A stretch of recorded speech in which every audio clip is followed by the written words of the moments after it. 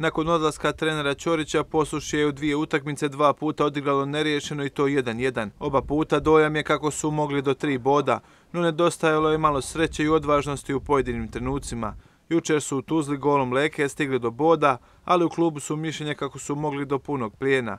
Novi trener Balajić zadovoljan je pristupom svojih igrača otkad je stigao klub. Mislim da smo dobro odgovorili, imali smo taj neki hendikep i u toj prvoj i u drugoj utakmici gdje nam je falilo dosta tih igrača radi kartona, radi ozljeda, ali nadoknadili smo to jednom ovaj, željom, jednom borbenošću, htjenjem i to nas je nagradilo.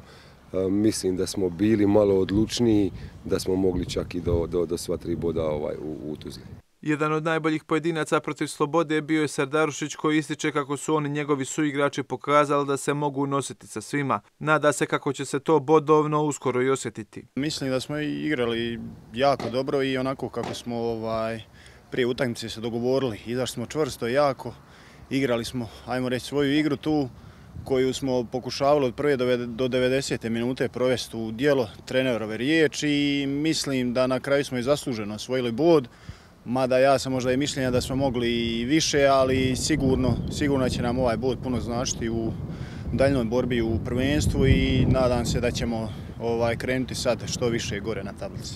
Novi trener još nije dobio odgovarajuću licencu za vođenje momčadi s klupe, tako da je svoje zahtjeve slao s tribina. Uskoro se nada kako će se i taj problem riješiti kako bi mogao biti bliže ekipi.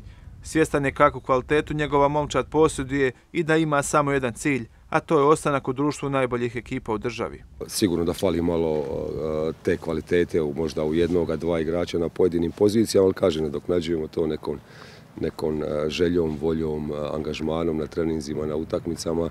A što se tiče same atmosfere oko kluba, mislim da je zaista zaista jedna pozitivna atmosfera, to se zaista osjeti, vidim da ti ljudi u klubu, oko kluba, navijači, da ljudi žive za klub. Već u nedjelju posušje očekuje novi izazov, a na mokri dolaz stiže ekipa širokog brijega. Hercegovački dvoboj na rasporedu u nedjelju od 15 sati.